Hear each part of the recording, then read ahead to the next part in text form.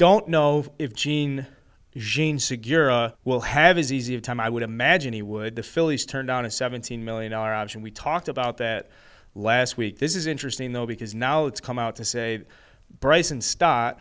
Again, this goes back to like having young guys that are good enough to take on 550 plate appearances, 600 plate appearances a year that aren't ingrained in a position. He's making 750 grand. It's easy. The Phillies are like, yeah, we can move Bryson Stott over to second base because one of these four shortstops is available. Xander Bogaerts has ties to Dave Dombrowski going back to the Red Sox. And so for the Phillies, the question was like, do we pick up Segura and keep the middle infield the same? They decline it. Now they've got 17 million to play with. They can move Stott over to second base, and people are saying they're going to make a run for Xander. They got like 40 million in the budget to stay around where they were this year.